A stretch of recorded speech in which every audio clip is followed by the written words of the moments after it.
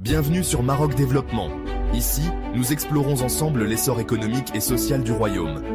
Des projets ambitieux, des infrastructures modernes et une vision d'avenir. Le Maroc de demain commence ici. Silla Atlantique, le spectaculaire rebondissement de X-Links. Imaginez près de 4000 km de câbles sous-marins transportant l'énergie verte du Maroc jusque dans les foyers britanniques. Un rêve d'interconnexion énergétique d'une portée mondiale. C'était le pari colossal du projet X-Links, une initiative titanesque estimée à 25 milliards de livres sterling, conçue pour acheminer 3,6 gigawatts d'électricité renouvelable depuis la région de Gelmim Noun jusqu'au sud de l'Angleterre.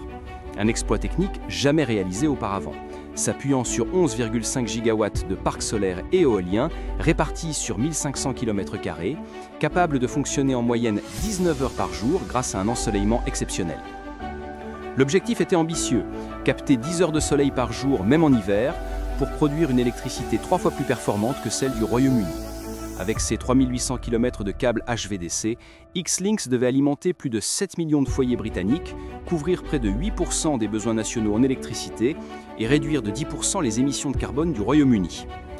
Du côté marocain, ce projet s'inscrivait parfaitement dans la stratégie énergétique 2030-2050, qui vise à porter la part des énergies renouvelables à 52% du mix national. L'opération représentait un double gain, positionner le pays comme un hub énergétique régional incontournable et générer des revenus d'exportation considérables qui auraient contribué à l'équilibre de la balance commerciale. Les perspectives industrielles étaient tout aussi importantes puisqu'un tel chantier offrait aux entreprises marocaines une montée en compétences et une intégration renforcée dans les chaînes de valeur internationales. Mais ce rêve s'est effondré en juin 2025 lorsque le gouvernement britannique a annoncé son retrait définitif du projet, refusant d'accorder le contrat de différence qui devait en garantir la rentabilité. Derrière cette décision, Londres a invoqué plusieurs arguments. Le premier concernait la sécurité. Les 3800 km de câbles traversant des zones maritimes sensibles étaient perçus comme vulnérables au sabotage. Le second tenait à une orientation politique assumée, développer d'abord les capacités renouvelables domestiques avec une logique homegrown visant à renforcer l'indépendance énergétique du Royaume-Uni.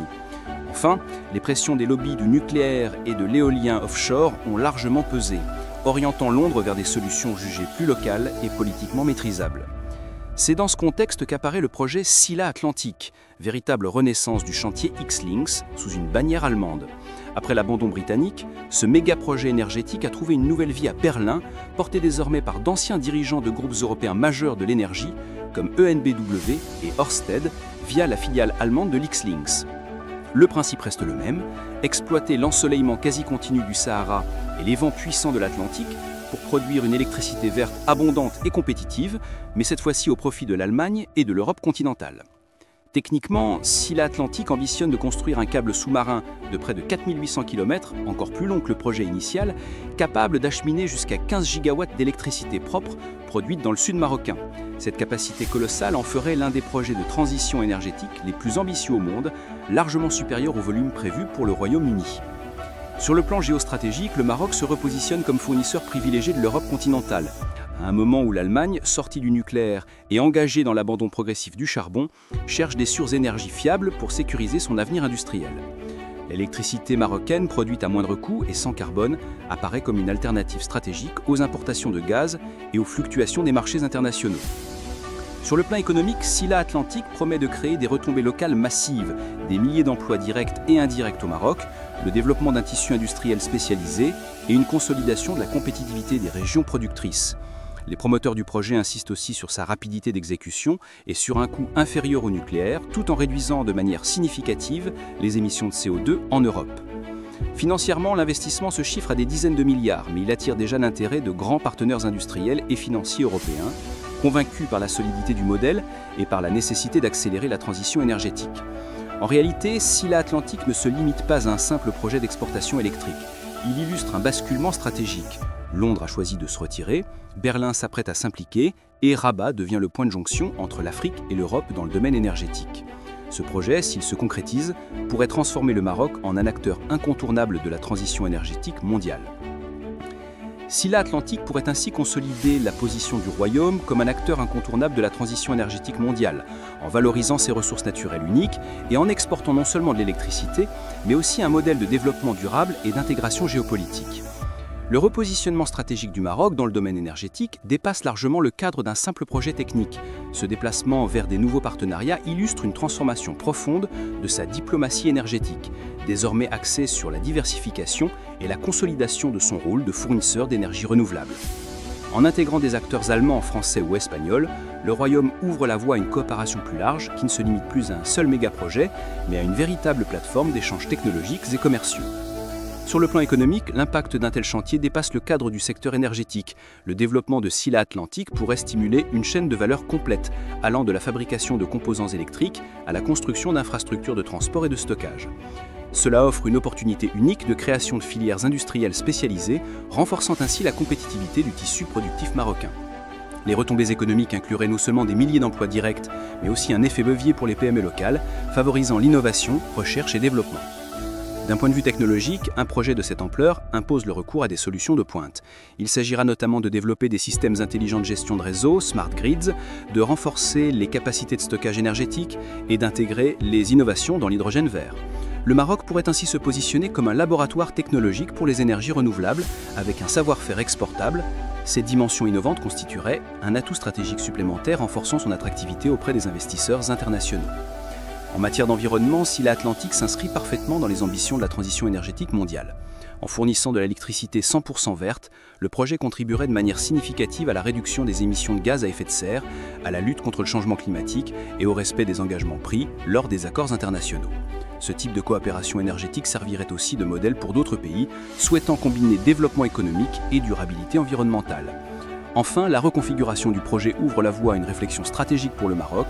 Au-delà de Silla Atlantique, le Royaume pourrait explorer de nouveaux partenariats régionaux, développer des corridors énergétiques et investir dans des hubs de production pour alimenter plusieurs marchés simultanément. Cette diversification renforcerait sa résilience face aux aléas géopolitiques, tout en consolidant sa position de pilier incontournable dans l'architecture énergétique euro-africaine.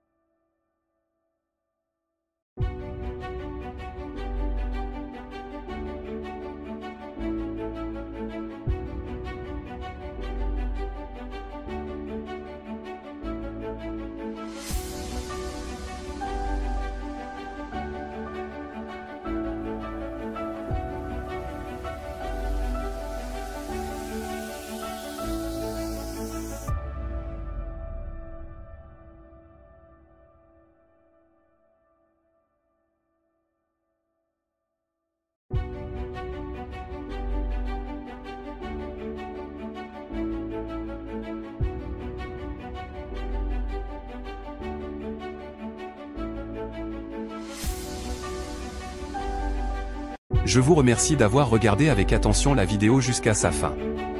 Abonnez-vous à la chaîne Maroc Développement pour ne rien manquer des dernières actualités et analyses sur l'économie marocaine.